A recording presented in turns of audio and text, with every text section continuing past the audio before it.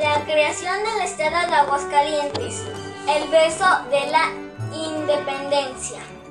En el año de 1835 hubo una rebelión en Zacatecas en contra del presidente Santa Ana. El presidente se dirigió a Zacatecas. Cuando pasó por Aguascalientes lo recibieron tan bien que se hospedó en la casa más lujosa, la del señor Pedro García Rojas, y su esposa la señora María Luisa. La señora María Luisa le insistió a su esposo, el señor Pedro García, que le pidiera la libertad de Aguascalientes.